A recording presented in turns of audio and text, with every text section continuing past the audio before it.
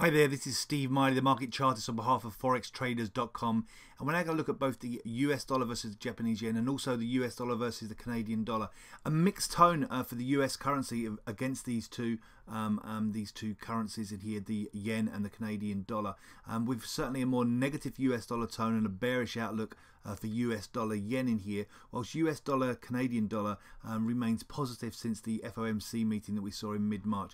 Let's start off here uh, with the US dollar versus Japanese yen. A significant sell off since the FOMC meeting um, through mid March, pushing down through this 111.58 low, also through this important low from the uh, Trumpflation rally in here, that low from mid, mid to late November. That's down at 111.32 or was down at 111.32. And the breakdown through these supports, creating this topping structure and shifting the bias for a more bearish tone going into now Q2, going into the early part of April. If we look at dollar CAD, however, um, dollar CAD, although we did get this sell off in here um, after the FOMC meeting in here, the market has tried to have a rebound effort in here since then.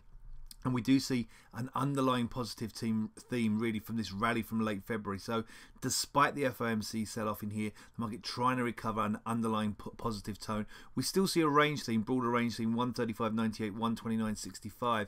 But if we go in here into the intraday chart within that range theme, there's the FOMC off, but we still see this underlying positive bias from the late February, early March. Uh, sorry, this whole rally from late February through um, early March in here. Still see underlying positive theme from that, despite the mid March sell off um, into, um, into the early part of Q2, into early April.